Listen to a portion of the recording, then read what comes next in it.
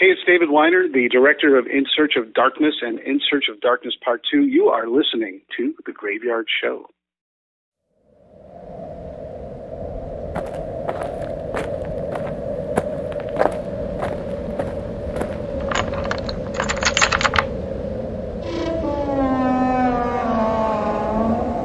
Welcome to the graveyard.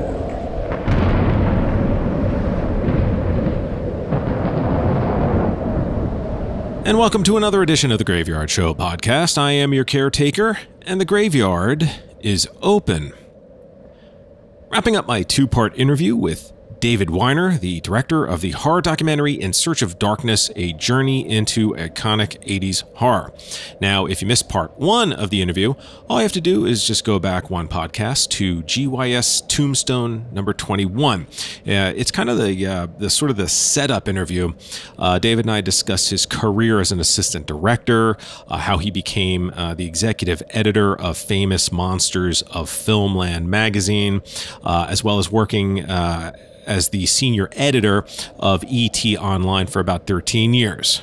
David's also a two time Rondo Hatton Award winner and is also uh, a contributing writer uh, to the Hollywood Reporter as well as the LA Weekly. Now, uh, we also discussed uh, In Search of Darkness Part 2 on that podcast uh, because there was a time limited offer that was expiring at midnight on Halloween. So obviously, I wanted to include uh, information about Part 2 uh, in my October podcast. That offer was the ability to pre order In Search of Darkness Part 2. And uh, with that pre order came a bunch of really cool stuff for Part 2, uh, such as uh, getting your name in the credits, uh, obviously uh, selecting either a DVD or a Blu ray copy of Part 2, uh, a digital download of Part 1, etc., etc., etc.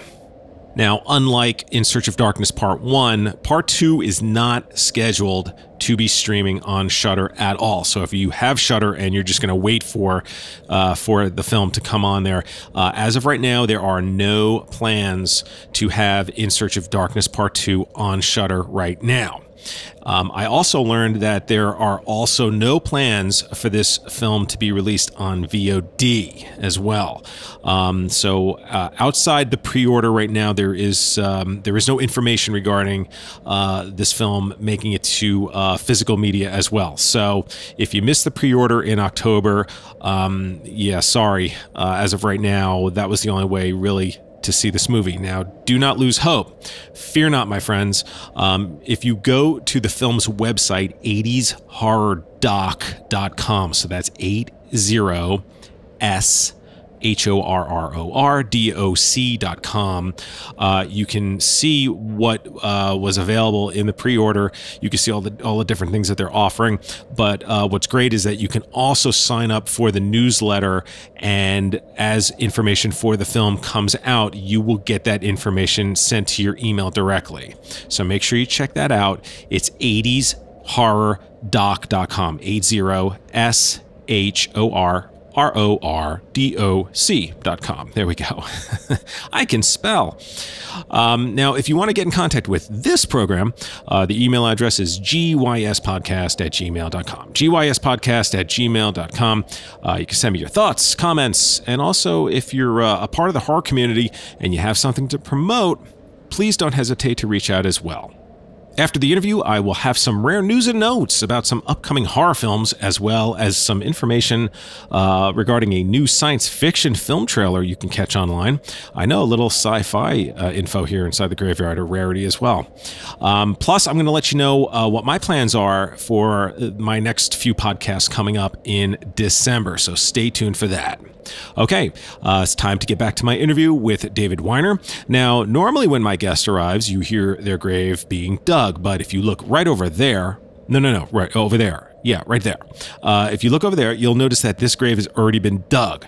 That's because I'm just going to be picking up right where I left off from the previous podcast as David and I get into the meat of the film In Search of Darkness a journey into iconic 80s horror.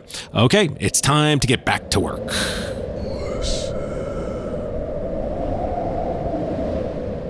So let's talk about the movie itself. Around the five minute mark in the movie, you get right into the pop culture and politics of the 1980s. Uh, did you feel that that would create a solid foundation for the rest of the documentary? I think it's important to frame the era contextually.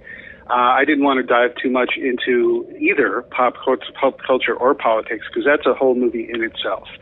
But I think um, I think there, you know, I, I sort of wrestled with you know, do people think the psychology of horror and do people think the pop culture and the, the politics of the era, um, you know, how much do they need to know? And, and I think the toughest element of putting a film like this together is you want to present uh, kind of a case study, and so you need all the pieces. And so while some might be a little more obvious, uh, I think if you don't include it, there are going to be parts of the audience where this is all brand new to them and it, it doesn't quite gel, co- you know, coherently if you're missing certain pieces, assuming people already know that. So while it might be a bit didactic at parts, I think overall it's absolutely necessary to kind of create some some era context for why the horror. You know, first of all, why do people love watching horror? Second of all, you know, what was the 80s about? Was it just Rubik's cubes and MTV, or what was there more to it? And and by the way, a lot of people don't talk about MTV the way they used to back then, and so they not they might not realize that that was a huge influence, as you mentioned earlier, just on on movies and pop culture and entertainment, and it had an absolute ripple effect across all all platforms of media. So you got to sort of create that that foundation and then dive into the movies. So when you when you talk about movies reflecting the era whether overtly or more subtly or in terms of perception, you need to understand why. And what's so funny about MTV is that you could make the argument that it, it was the reason why we have WrestleMania now, because that was basically yeah. the whole that became the whole catalyst for everything that came that it was the domino effect, which I don't think a lot of people remember or know. um, well, you know, not to not to dwell too much on it, but I mean, you know, MTV was vilified by a lot of people too. They're just like, oh, you know, kids' attention spans, you yeah. know, or why why aren't people using their imagination? It all has to be, you know, a visual medium now. Why do we have to sit and watch music when we can listen to it? You know, mm-hmm. it's it, it sort of challenged the norms, and uh, we we take it all for granted now. But it sounds a bit antiquated. But that was all new and and and rebellious and revolutionary at the time. Yeah, I mean, it was the first time. I mean, there were bands that I didn't even know what they looked like. You turn on MTV and you'd see the song and you'd see the band. You'd be like, oh, okay, because it wasn't. You know, it's like unless you were a fan of the band, you you didn't know, and you know, it was it was it, it was really interesting, like uh, you know, seeing concerts and just stuff. I mean, I was you know, and sometimes it was better not knowing what the bands looked like. Sometimes exactly. I won't name names. Face for radio, right? exactly. I'm gonna I'm gonna get us back on track on the movie because I took us off with MTV, so I apologize for that. uh, and we could, I could spend an you know entire show just talking about that. But um, so so after after you get into um, the politics and the fads at the time, you start off you go in chronological order, 1980 obviously being the first uh, year you, you you profile. And what I what I mm-hmm. thought was really interesting was that um, instead of going with an obvious slasher film from the time, like Friday the Thirteenth, the first two films that you profiled were actually ghost stories. You you started with The Fog and then The Changeling after that. So um, yeah. was there any method to that madness? Well, there, I I went over all sorts of thought processes. You know, you know, the mind edits everything, and what you see is what you get. But there, when there's so many ways to approach all this material, you know, uh, it could be it could be by subgenre, it could be by theme, it could be by director, it could be by distributor. There's a million ways to to look at all, this stuff. Robin Block always wanted. He's like, let's go year by year, movie by movie. And while you just can't do that with every movie because it's just too much, um, I decided to take a handful of films that represented a solid cross section of what was available, and literally just put them in order theatrically uh, in terms of their their their uh, North American theatrical release. And I figured that's kind of the way they rolled out, you know. And you could play the trailer to get people uh, uh, whet their appetite, give them a taste of what the trailers were like back then, but also to sort of set the stage of what this movie was. And um, I figured that was the best way to go about it. So it just happened to be that way, you know, that you got like the changeling and the fog first, and it's still the best. You know, two two really uh, ideal ways of starting this movie because it shows two different things. It shows for the changing, for example, uh, for the fog example, for example, you have people, you know, uh, uh, John Carpenter and Tom Atkins, who were who made this movie, talking about their movie. Um, but then right next to that, you have the Changeling, where I don't have anyone from the Changeling, but I have the two stars of Reanimator who just loved that, Barbara Crampton and Jeffrey Combs, who were just fans of that movie, talking about why they loved it and why it was influential to them and that kind of sets the tone for what this movie is all about. You know, it's not only people talking about their own movies, but it's people from other movies and other parts of the genre, you know, who are just fans and knowledgeable about it. Well, I was happy to see that you mentioned one of uh, one of the movies I always kind of go back to, Fade to Black. I think it's one of those movies that gets kind of lost in that time period. Um, and ironically enough, uh, Shudder just added it. Uh, well, not just, but Shudder added it. Yeah, yeah, uh, they added it to yeah, their roster, and people yeah. are discovering it for the first time. And uh, sorry to jump on. The, oh no, you haven't asked a question yet, but it's like um, it, it was it was rewarding to see some people say, "Oh, I heard about that or I saw that on on In Search of Darkness, and now I get to see it." So um, I like that you not only spotlighted uh, the films of the time, but that you also spoke about things that were like sort of an offshoot of the of the era, I guess, or the fads of the era. Um, obviously, VHS, home video, uh, the birth of direct uh, to video films and video artwork uh, which were all so important for that time period because it gave um, it gave exposure to films that would normally not be able to get um, uh, exposure uh, through the Hollywood system um, you mentioned a movie called The Ripper, which I totally forgot about, but I remember seeing at the time, right. which was with Tom Savini playing Jack the Ripper. Yeah, and that's he's the running, one running put, around yeah, playing Jack the Ripper. That's yeah. the one with the guy puts the ring on, right? It's like Jack the Ripper's ring. he puts it on, and then Tom Savini right. shows up as Jack the Ripper. um, but what I found interesting was how um, the one description was that uh, I can't remember who it was who said it, but they rented. I think they were seeing a movie, a film, and instead they were seeing a movie that was was done on video, and that it that it made the movie feel cheap. Yeah, that was Phil Nobile Jr., the editor in chief of Fangoria. Yeah, I mean, the, the, you didn't know what you were going to get, especially if you hadn't heard of it before and you're responding just to the box art. So there was a bit of a gamble because it didn't matter how you paid the same thing for every single tape. So you could get like a blockbuster that cost you know millions of dollars to make, or you could get the Ripper with Tom Savini, yeah. which to him was was a disappointment. Although the way you describe it, you know, I think that at least they made up with some imagination in terms of the storytelling. And you know, anytime you have Tom Savini having, you know, he just he just relishes acting acting opportunities because he's he had to sort of battle his way into getting acting roles because he was the you know the effects master and people saw him as that first and foremost. Um, yeah, it, you know, I, I think the thing about the, the video store experience that we all reminisce about now is really kind of amusing to me because you know back then it was just a, it was just the necessity. You went out, you and you you you browse the movies and you pick something or a couple things. You know, if you wanted to stack up a, a pile for the week or the weekend, but it was just sort of the way you did things because that that was the only sort of outlet to do it other than cable or just snapping the TV channels to see what was on. Yeah. Um, but we look back at it now incredibly fondly for a very obvious reason. Now we don't have video stores anymore. I mean, there there there still are some around, but it's not as pervasive as it used to be. And uh, I think the tactile element of picking up the box, looking at the front and the back, physically thinking about it while it's while it's physically in your hand, there's there's a certain appeal to that whole process of of anticipation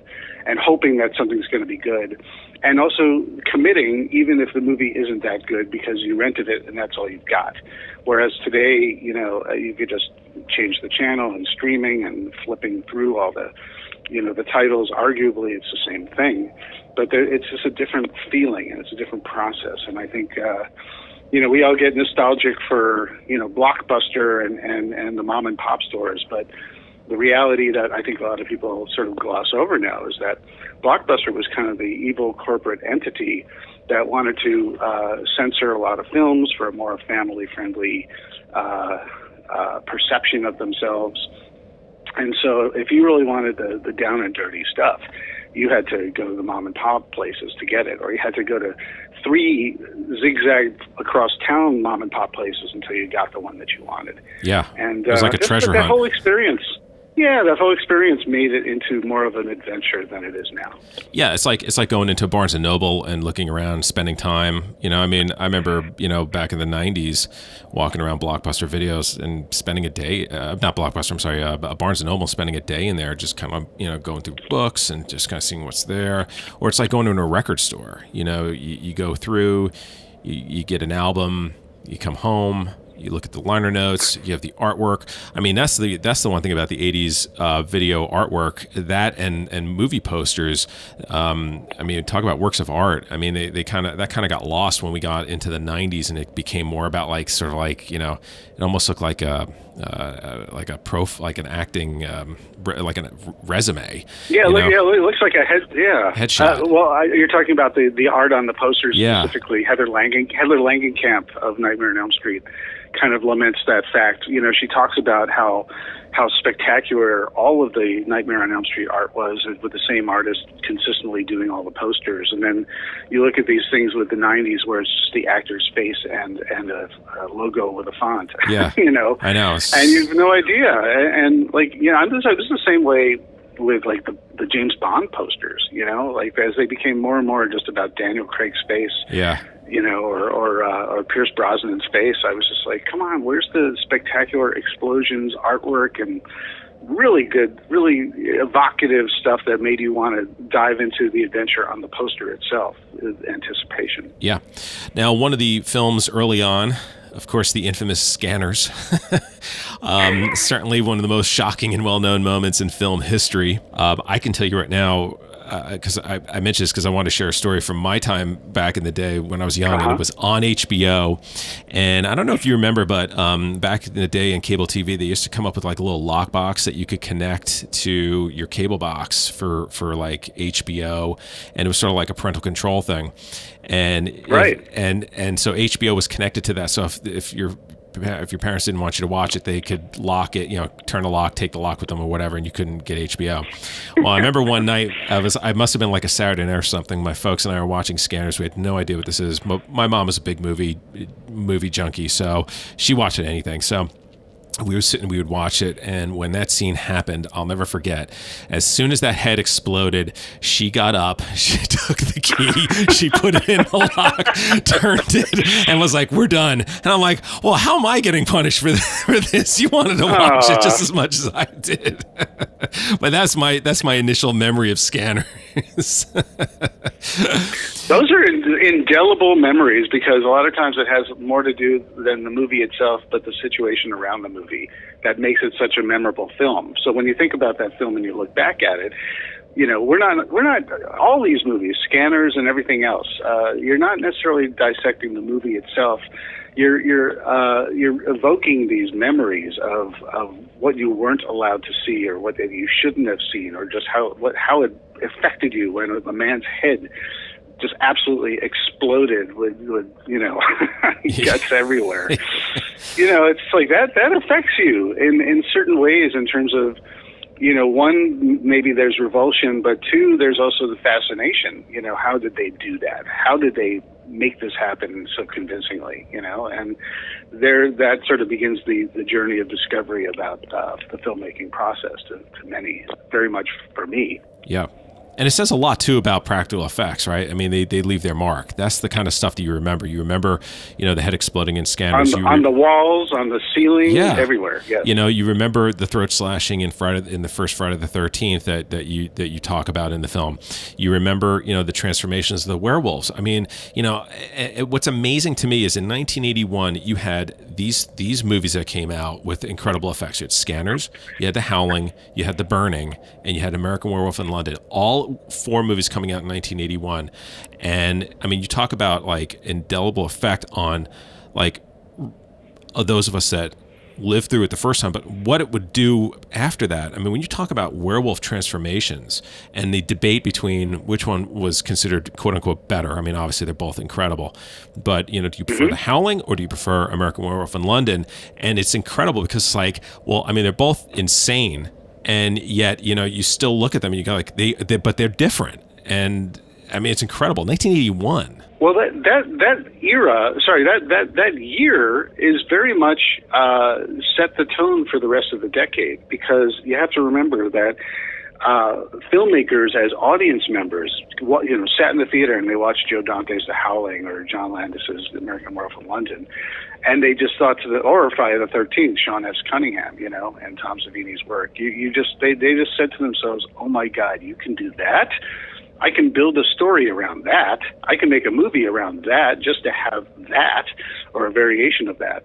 And that really sort of affected the trajectory of the creativity uh, and and the amount of the volume of movies that were made in in, in the years to follow, based on the influence of, of just those early two years. then you go from those Hollywood type movies, right? The Hollywood films to the more independent film like Evil Dead, which comes out not too long after that, which, you know, talking about like watching movies at your friend's house and stuff.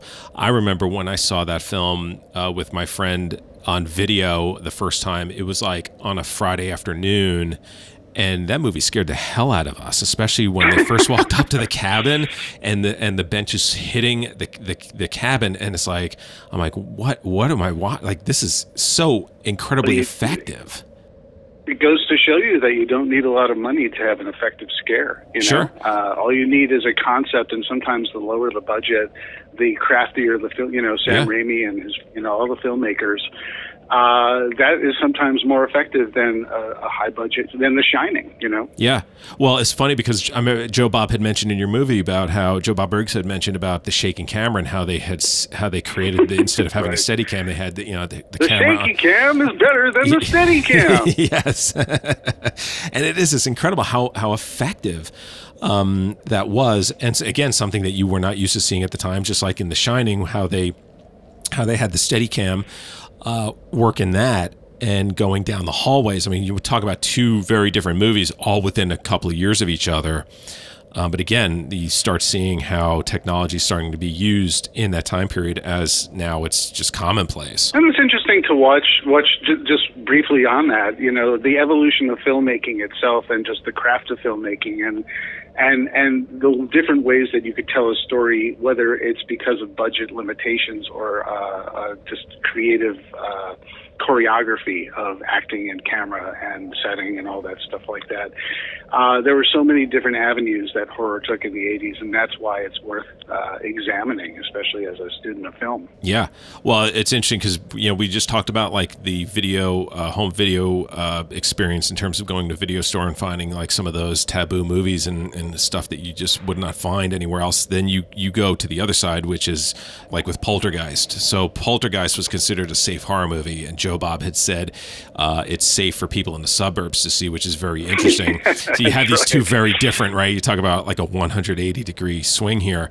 Um, but I am glad that he and Mick Garris did say that's, that it, Tobe Hooper directed this film because these these rumors out there that it was actually Steven Spielberg who ghost directed it. No pun intended. I mean, I remember that. Yeah, back then when when they, I remember when that came out. It, it wasn't too long after that that people said, "Yeah, well, Tobe Hooper's the director," but it was really Steven Spielberg. And you know, it was it was this is before the internet was out and everybody was talking about this. You know, um, so boy, poor Tobe Hooper. And, and it was important for me to to get someone who really knew the material and and Mick Garris was there. He was on the set of Poltergeist, so he should know.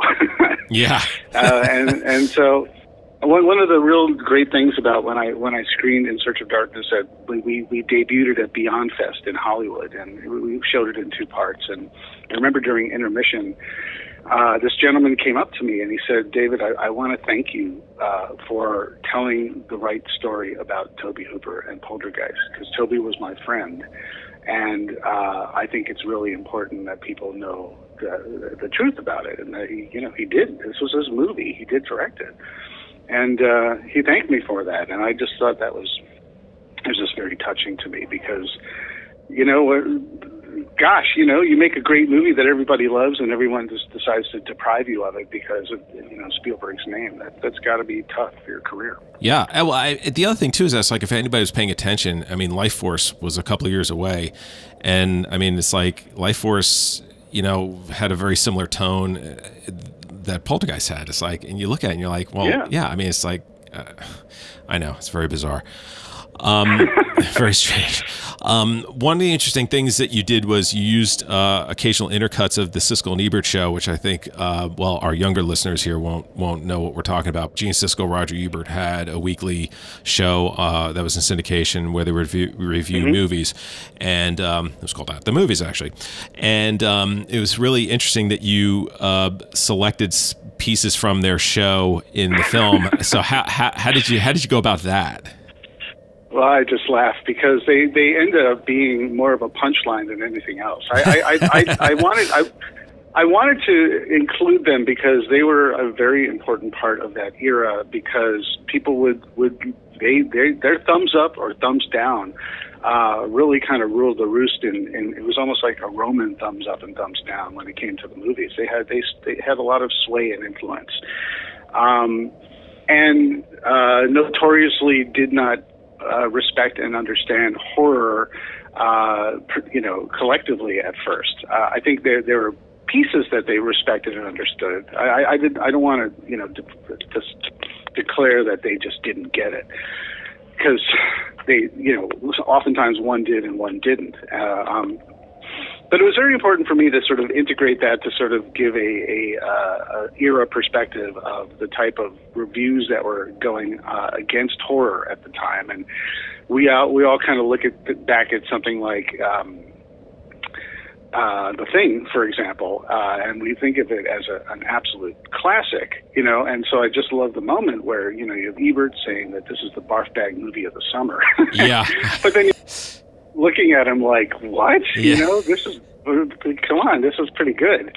Even you know, um, and you only have snippets of it. So you, you know, if you really want to hear all the things that they had to say, in all fairness, you really need to sort of you know track that down on YouTube and so on and so forth. But um, uh, you know, like for every one of those, you had Roger Ebert talking about how Motel Hell was was arguably brilliant. Um, so I, I think it was important just to, to pepper those throughout, just to sort of create a little broader context. One of the um, fads, or one of the gimmicks, let's let's call it that. Uh, one of the gimmicks of the '80s was the return of 3D. Um, I, I, what's interesting is I don't remember the movies Rottweiler and Parasite um, in 3D. Uh, but obviously, uh, Friday 3D, uh, Amityville 3D, Jaws 3D. Um, I was glad to see that you. I mean, it's not like you could ignore it because it was very popular at that point in time, but again, very yeah. limited in scope as well. A lot of those movies didn't get a very wide release, also. Uh, like the you know Rottweiler mm-hmm. and Parasite. I, I, I don't remember my having been there. I remember Parasite, uh, I don't remember Rottweiler. I mean, I knew I knew of the movie, but I don't remember ever seeing ads for it. Mm-hmm. Um, whereas Friday, Friday, uh, Friday, Amityville, and Jaws 3ds were were in every single newspaper saying go go go go go, and those were uh, franchises at that point so they were much better known. But I, I enjoy seeing, you know, uh, Eric Kurland is, is great in that because he's he's an absolute authority. He he has his own 3D museum in Los Angeles, and um, and uh, so he really knows his stuff. And it was really fun because he brought his bag of goodies where he had, you know, kind of a show and tell of the, you know, press kits and and the printed glasses they would make for each movies, and he could go into detail as to which kind of glasses and what type of you know stereoscopic you know choices were made for all these movies, but you know the, the the the crux of it is is 3D kind of rears its head every every couple of decades. Did it in the 50s, did it in the 80s, it did it in the 20 teens, I think, Yeah. is when it came back again. Yep. Um, but you also notice that it's all but gone, right?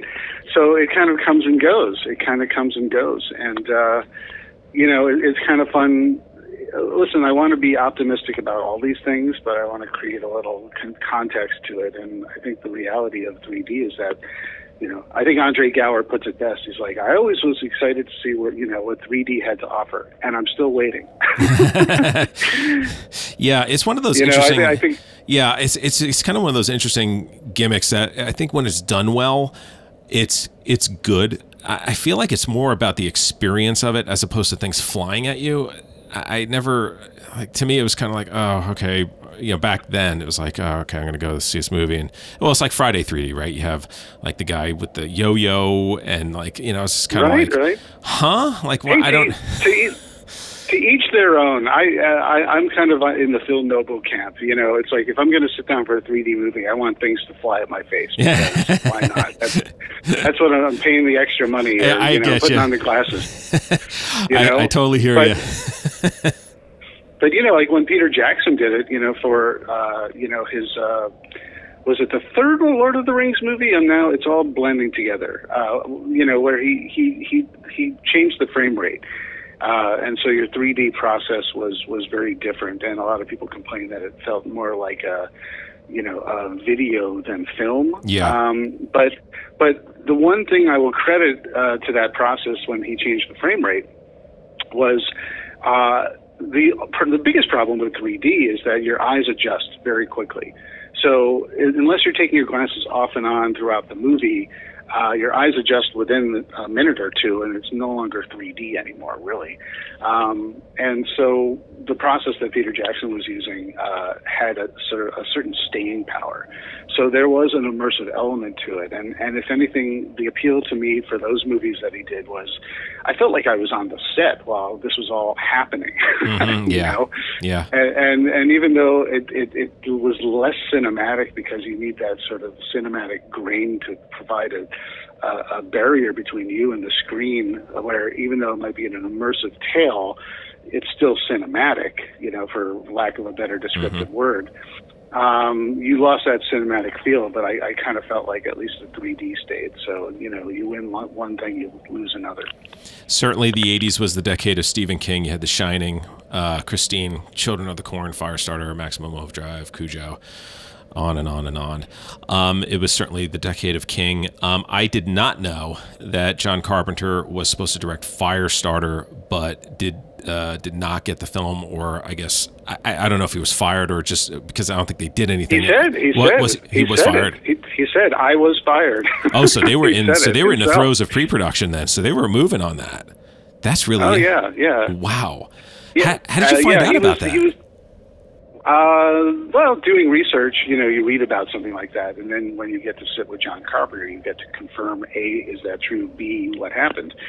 Um, you know, but you got to be diplomatic about it because he Yeah. lost his job. But the great thing about sitting down with John Carpenter is that he's a straight shooter, and he's he'll he'll just he, he could be a bit self-effacing, and uh, you know, we think of him as or master, but he's just like, well, this didn't work and this didn't do well, and I wanted to do this, but I didn't have the budget, all that kind of stuff. And you know, with Firestarter, he's like, yeah, we we wanted to do Firestarter, but uh, you know, it just uh, the thing bombed, and so I lost my job. I, I know all of us out there that are fans would would I just trying to imagine what that movie would have been like if he had done it.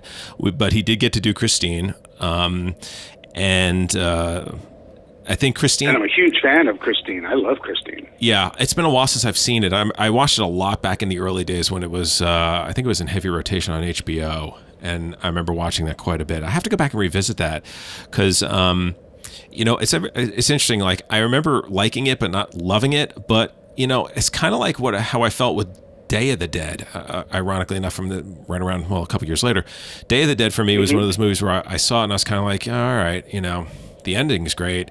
And then I revisited it like years later, and I was like, wow, this is a really solid movie that I think just gets Oh, yeah. lost in the trilogy because you have the you know night, which is brilliant, and dawn, which is brilliant, and then day, which kind of had to live up to that. And I think it does. It's Well, just a very different and darker film. I think that's the thing. Day of the Dead was not the other films. You know, it goes in a different direction. It takes its time. The setting is very different.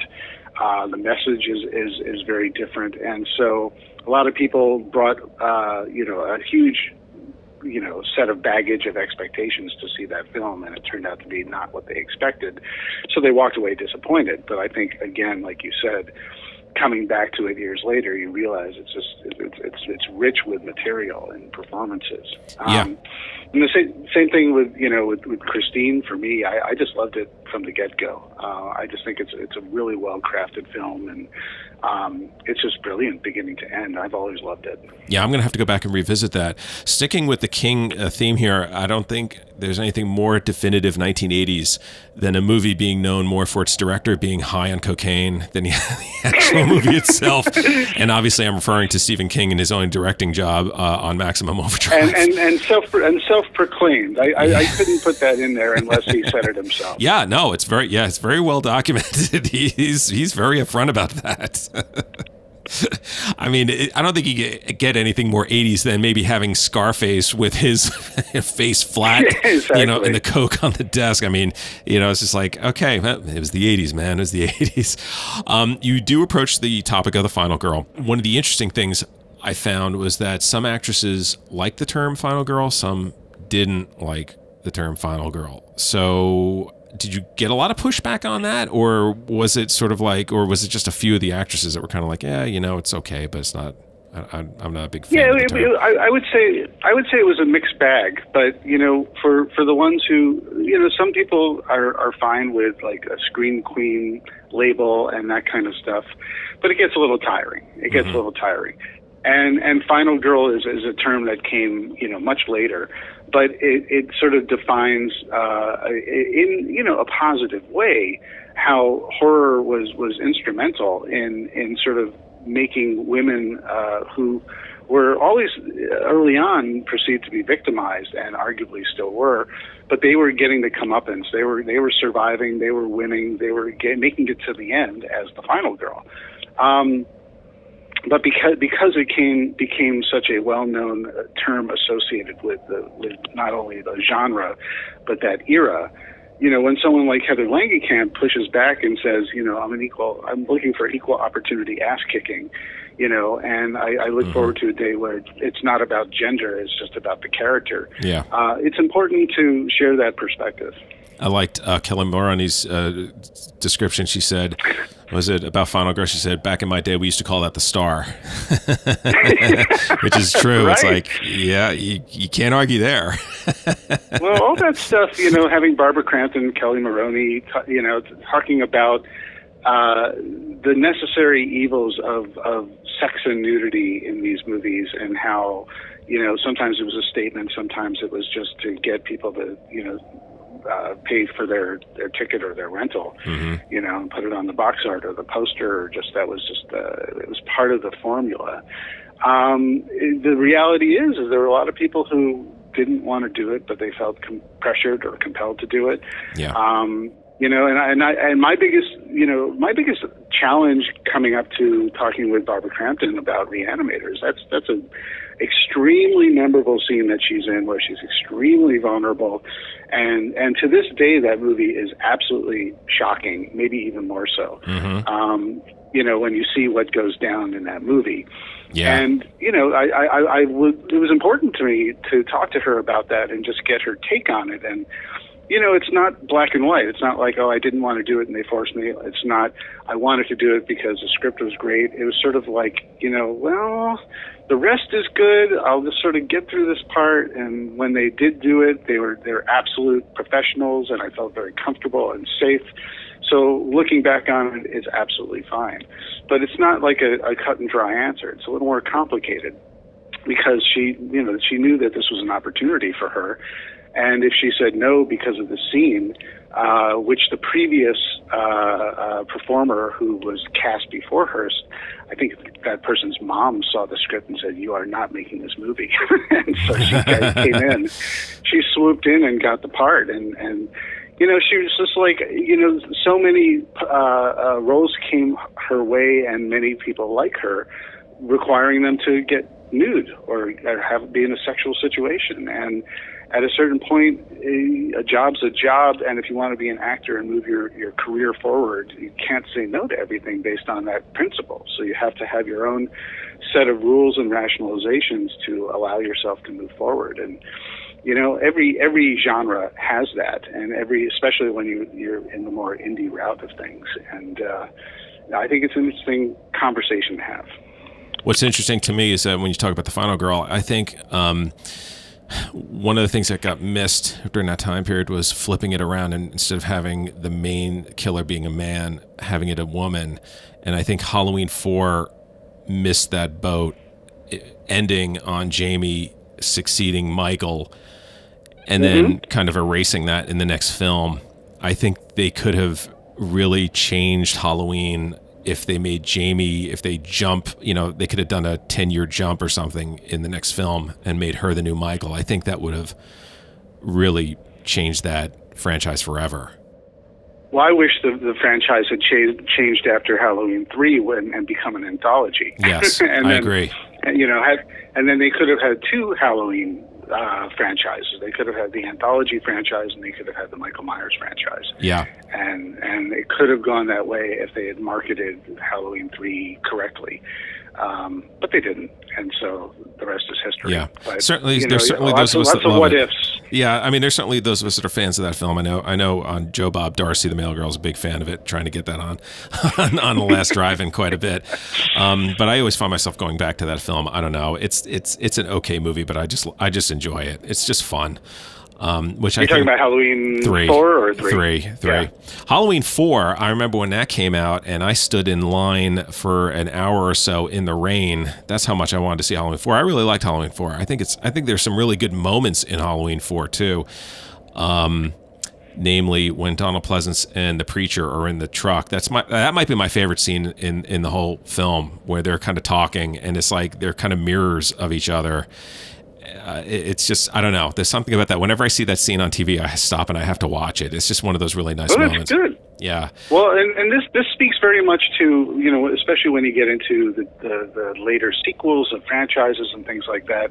This is where the true horror fans uh, they get to stand their ground and discuss why they love something and why it's important to them. And you know, while one person might say, you know, Halloween four, who cared about anything after Halloween one, you know, which was great, but everything was a lot of diminishing returns and confusion um, you know, there, there's still an equal amount of people who say, I loved it because of this, and this is, I wish it had done that. And um, it's important to you, and, and you have a memory, you, you have a sense memory that you can associate with this movie that means more than just the movie itself. And a lot of it has to do with your expectations and how much you love the franchise. And so these are all, you know, great little nuggets that, that carry uh, give give give nuance and, and, and deeper levels to the whole experience. Well, David, I think I'm going to end it on that note. So, well, because I could go on and on and on with your documentary. I'm, I, I really, I've, I've, watched it twice. I'm probably going to watch it a bunch more times. Uh, I'm a huge fan of it. So, if anybody wants to follow you online, is there any social media? Yeah, I'm pretty active on social media. I'm, I'm probably most active on Twitter. Uh, my Twitter handle is at Tiki Ambassador.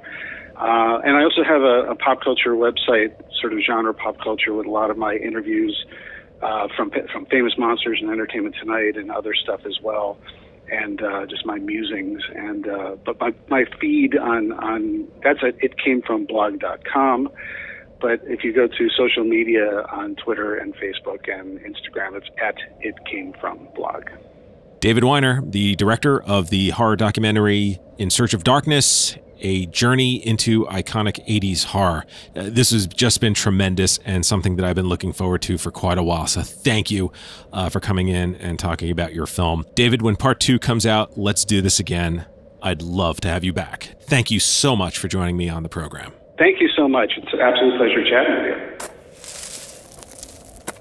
And as I put this interview to rest, I once again would love to thank David for taking the time to join me here inside the graveyard to discuss his film.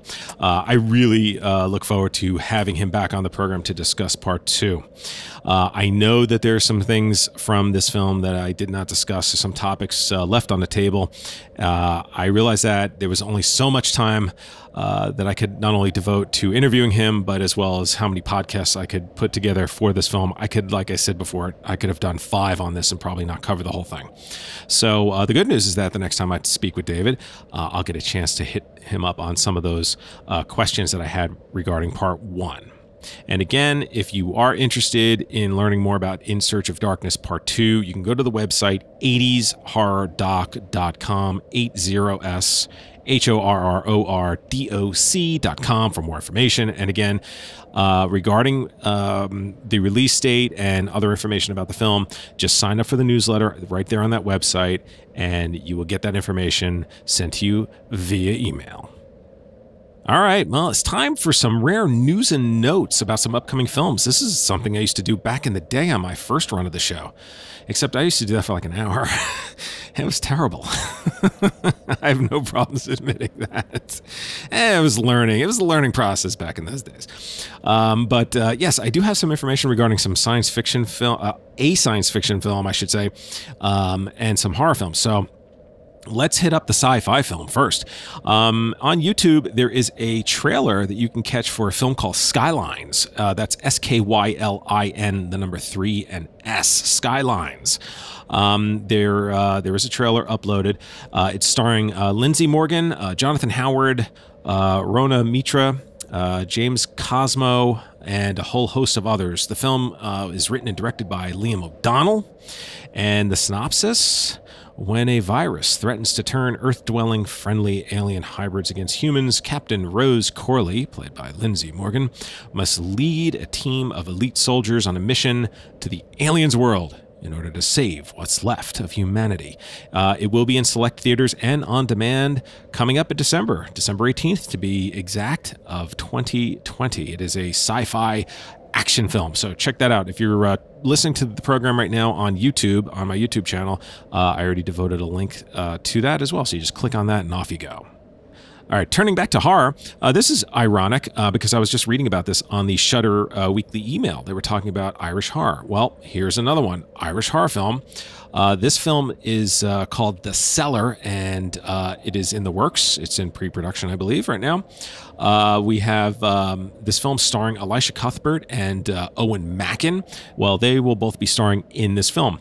Uh, the film, The Cellar, is from the critically acclaimed Irish writer director Brendan Muldowney. Uh, his previous film, Pilgrimage, uh, which starred uh, Tom Holland and Jon Bernthal, uh, premiered at the Tribeca Film Festival. The uh, the Cellar tells the story of Keira Woods, who is played by Cuthbert, whose daughter mysteriously vanishes in the cellar of their new house in the country.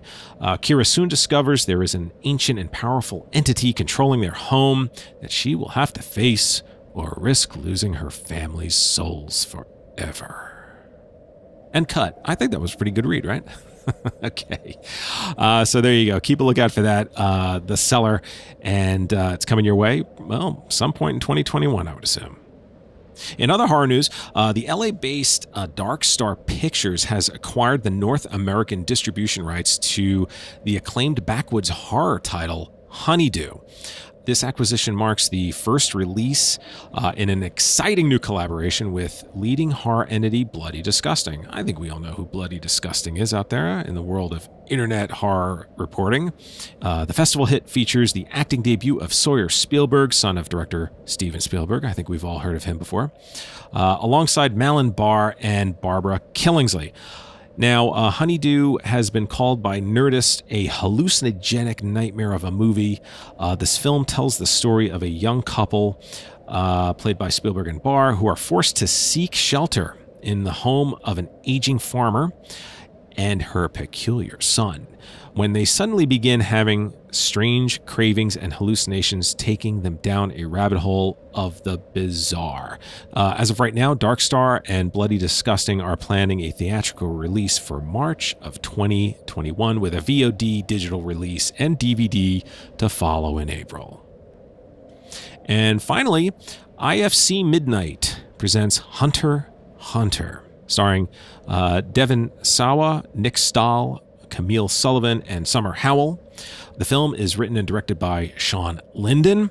It'll be in select theaters and on digital and on demand December 18th, 2020. So there you have it.